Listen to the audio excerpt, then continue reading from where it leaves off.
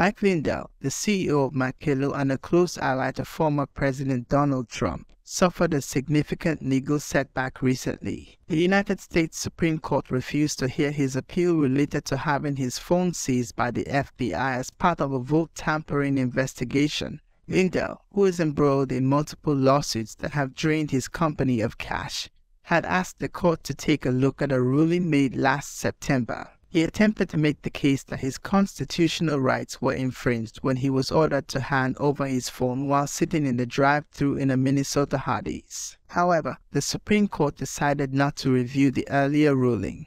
This decision by the Supreme Court is a significant blow to Lindell. It highlights the challenges he faces in his ongoing legal battles, particularly those related to his claims about the 2020 election.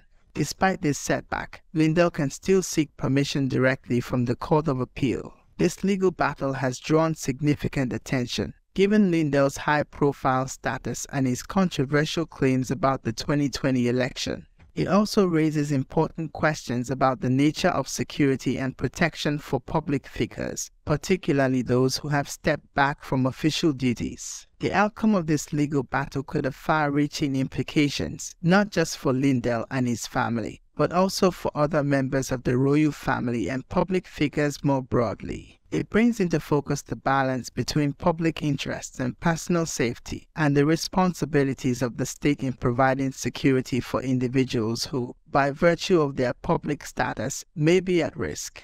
In conclusion, while Justice Thomas's absence from the bench is notable and somewhat mysterious given the lack of an official explanation, it does not mean he is not participating in the important work of the court. It serves as a reminder of the human element in our judicial system and the fact that the justices, like all of us, can be affected by unforeseen circumstances. As always, it's important to stay tuned to official news sources for the most accurate and up-to-date information.